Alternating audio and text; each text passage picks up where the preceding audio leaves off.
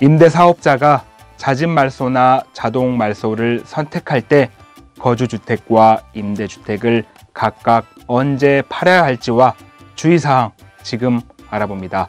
구독하기와 좋아요 꼭 눌러주십시오.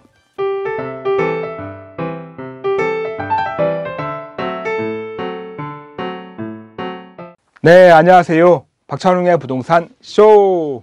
부자남 박찬웅입니다.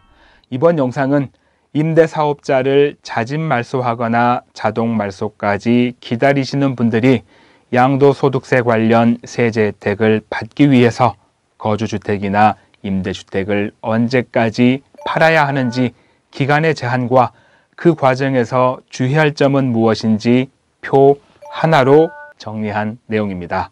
먼저 여러분의 이해를 돕기 위해서 이번 영상에서 언급하는 거주주택과 임대주택은 무엇인지 정의해 보겠습니다. 거주주택은 실거주 2년을 충족한 현재 살고 있거나 살았던 주택을 말하고요. 임대주택은 주택임대사업자로 등록된 임대주택을 말합니다. 그리고 그 임대주택 모두는 거주주택 양도세 비과세 요건을 충족하고요. 임대주택 양도세 중과 배제 요건을 충족한 주택입니다. 이러한 요건을 바탕으로 표를 보시면 임대사업자의 거주주택과 임대주택 양도 기한과 주의점이라고 되어 있는데 양도 소득세 관련 양도 기한과 주의점이고요. 표 하나로 정리가 되어 있습니다. 이 표는 제 블로그에 오시면 다운받아서 보실 수 있습니다.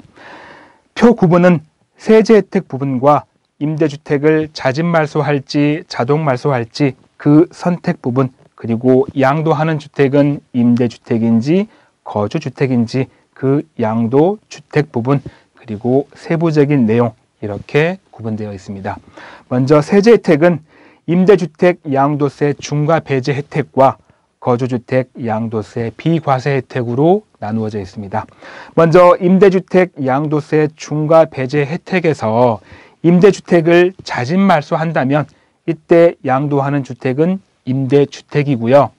자진 말소로 인한 등록 말소 이후에 임대주택을 1년 이내에 양도한다면 이때는 양도세 중과 배제 혜택을 주겠다라는 건데 자진 말소기 때문에 임대주택의 임대 의무 기간 2분의 1 이상을 임대했을 때 이런 혜택을 주겠다라고 보시면 됩니다. 자동 말소를 선택할 때는 이때에도 역시나 양도하는 주택은 임대주택이 되고요. 그래서 자동 말소로 인해서 임대주택이 등록 말소가 됐다면 이때는 언제까지 팔아야 한다는 양도 기한의 제한은 없습니다. 언제 팔든 임대주택에 대한 양도세 중과배제 혜택은 주겠다라고 보시면 됩니다. 이번에는 거주주택 양도세 비과세 혜택 부분입니다. 임대주택을 자진 말소했을 때 양도하는 주택은 거주주택이 됩니다. 그래서 자진 말소로 인해서 임대주택 등록 말소 후 5년 이내에 거주주택을 양도한다면 거주주택 양도세 비과세 혜택을 받을 수가 있는데 자진 말소다 보니까 임대주택 의무 임대 기간의 2분의 1 이상을 임대했을 때만 이러한 혜택을 주겠다라고 보시면 됩니다. 임대주택을 자동 말소했을 때는 이때도 역시 양도하는 주택은 거주주택이 됩니다. 그래서 자동 말소로 인해서 임대주택 등록 말소 후에 5년 이내에 거주주택을 양도한다면 거주주택 양도세 비과세 혜택을 받을 수가 있게 됩니다. 여기까지만 하면 너무나 쉽죠. 저도 여기서 영상을 끝내고 싶지만 임대주택 양도세 중과 배제 부분은 큰 문제가 없는데 거주주택 양도세 비과세 부분에서 몇 가지 경우의 수가 생깁니다. 그래서 여러분들이 꼭 주의해야 할 부분이 있는 거죠. 그 부분 제가 하나씩 알려드릴 텐데 먼저 임대주택이 2호 이상으로 등록 말소일이 각각 다를 경우에는 자진 말소든 자동 말소든 최초 임대주택 등록 말소일을 기준으로 5년 이내에 거주주택을 양도해야 양도세 비과세 혜택을 받을 수가 있습니다. 또 한 가지 경우는 거주주택을 무조건 5년 이내에 양도해야 하는 건 아닙니다.